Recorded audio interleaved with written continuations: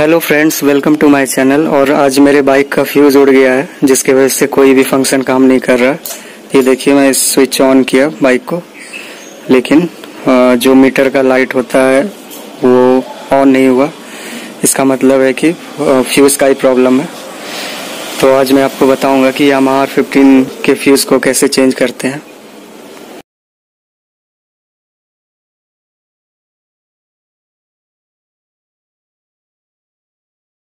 और इसका जो फ्यूज है वो सीट के नीचे आपको मिलेगा। तो हमें इस वाले सीट को हटाना होगा। और इस सीट को रिमूव करने के लिए हमें एक एलन की और एक स्क्रू ड्राइवर चाहिए।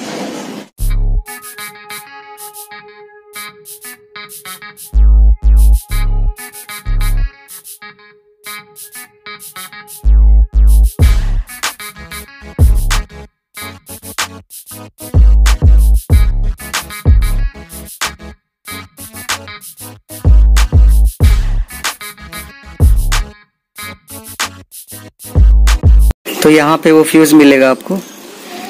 ये जो ये वाला जो सॉकेट है, इसके अंदर ही फ्यूज है।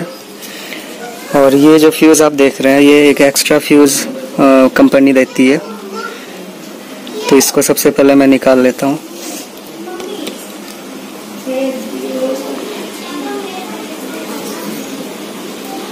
ये नया फ्यूज है। अब सबसे पहले इसके कवर को रिमूव करेंगे हम।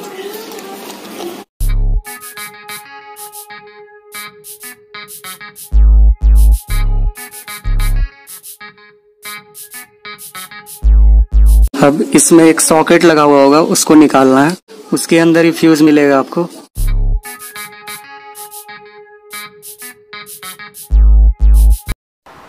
तो इस वाले फ्यूज को हमें चेंज करना है।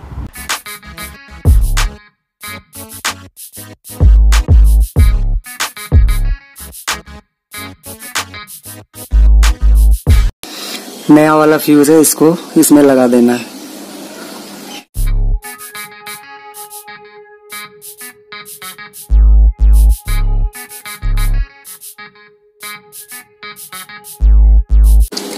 इसको लगाने के बाद वापस इस सॉकेट को इसमें लगा देना है।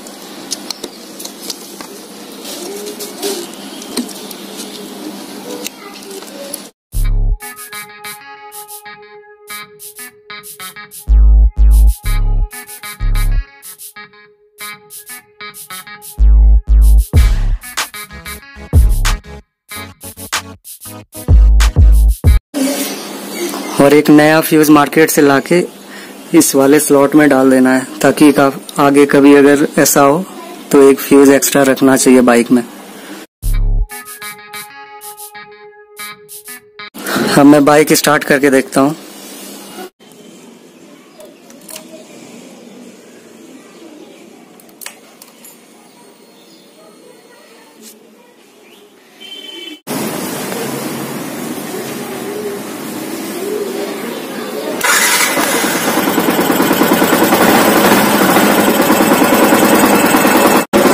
दोस्तों, अब बाइक का सारा फ़ंक्शन काम कर रहा है।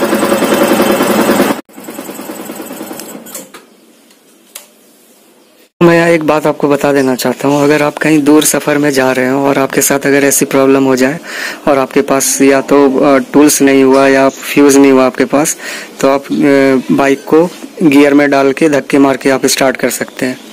एक्चुअली फ्यूज़ उड़ने के बाद जितना भी लाइटिंग वाले फ़ंक्शन है या स्विच से जितना भी फ़ंक्शन कंट्रोल होता है, वो बंद हो जाता है।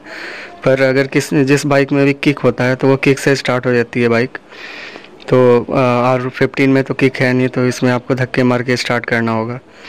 बाकी जो लाइट लाइट का जो फ़ंक्शन होता है, या हॉर्न का, या सेल्फ स्टार्ट ये सब काम नहीं करेगा।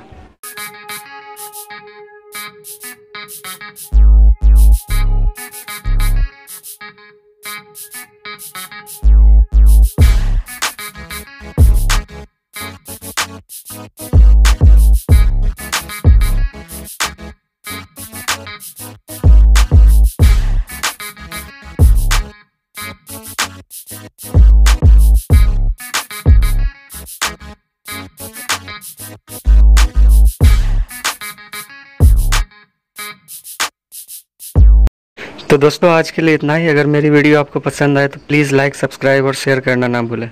Thank you.